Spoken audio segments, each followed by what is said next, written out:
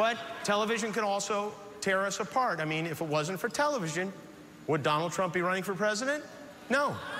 He would be at home right now, quietly rubbing up against his wife Melania while she pretends to be asleep.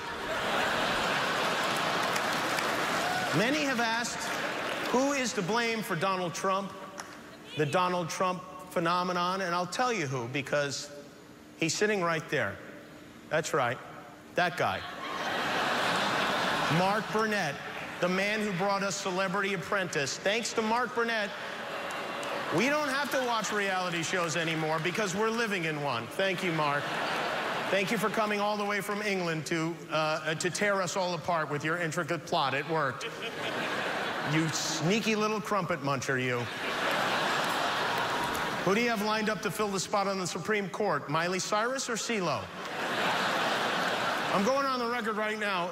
He's responsible. If Donald Trump gets elected and he builds that wall, the first person we're throwing over it is Mark Burnett. The tribe has spoken.